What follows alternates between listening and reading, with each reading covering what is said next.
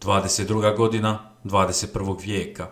Ljudi gube dragocjeno vrijeme na poslovima koje ne vole da obezbijede sobstvenu egzistenciju, a mogli bi koristiti umjetnu inteligenciju da stvore ugodno životno okruženje i rade ono u čemu zaista uživaju.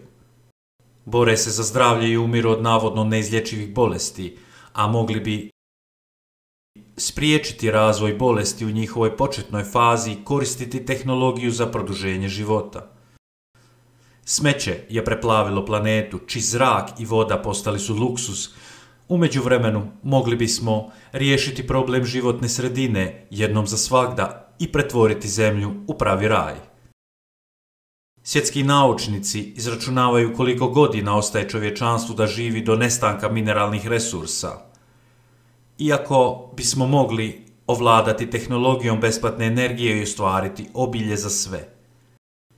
Ljudi se međusobno ubijaju zbog merkantilističkih interesa nekoliko pojedinaca, umjesto da žive u miru, donose zajedničke odluke, stalno se razvijaju i istražuju druge planete.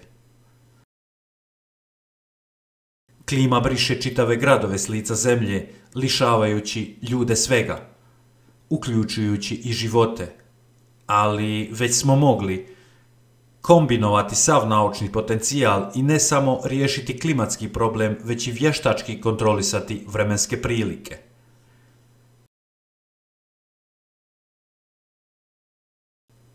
Vrijeme se ne može vratiti, ali još uvijek imamo priliku da promijenimo sve. Saznajte više na Međunarodnom forumu 7. maja globalna kriza, mi smo ljudi, želimo da živimo i izaberite svoju sobstvenu budućnost.